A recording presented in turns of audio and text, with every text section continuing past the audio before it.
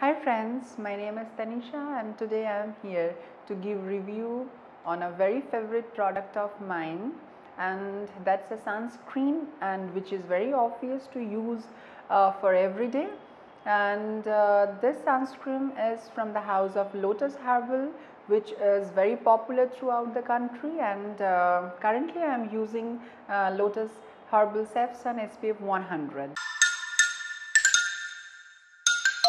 So the sunscreen I was talking about, this is from the house of Lotus Herbal and it is uh, as you can see this is Lotus Herbal Safe SPF 100 plus which is a very high SPF contain and this is an ultra sunblock which uh, actually helps you to uh, protect your skin from the harmful UV uh, rays and uh, this particular sunscreen uh, this claims that it will uh, slow down your melanin formation process and uh, it will protect your skin collagen barrier and it will help your skin um, from you know getting further tan and it will actually help your skin to prevent premature aging. So friends now I will show you how to use the sunscreen and the texture of this particular sunscreen. As you can see this sunscreen this comes in a uh, pump bottle and you will be requiring a very small amount of your sunscreen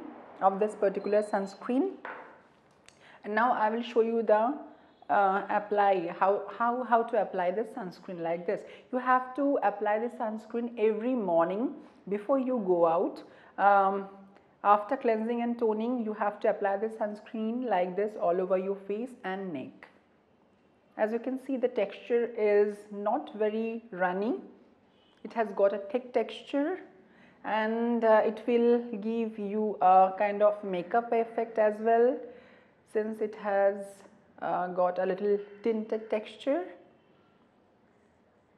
so it, uh, it gives basically this sunscreen gives you a very nice kind of feeling and finish.